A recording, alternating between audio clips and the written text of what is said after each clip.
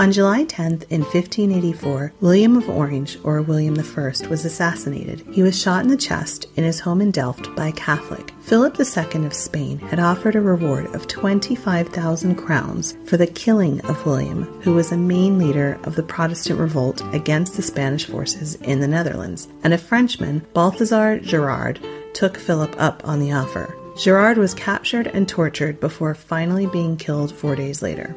This Philip was, of course, the same Philip who was married to Mary I, Queen Elizabeth's sister, and who would invade Elizabeth in 1588 with the mighty Spanish Armada. The assassination of William brought home to Elizabeth just how fragile her own situation could be. She could be easily assassinated as well. Her spymaster, Francis Walsingham, amped up his activities, and life became very tough for Catholics who were seen with such suspicion. After all, could you be loyal to both the Queen and the Pope if the Pope had excommunicated the Queen?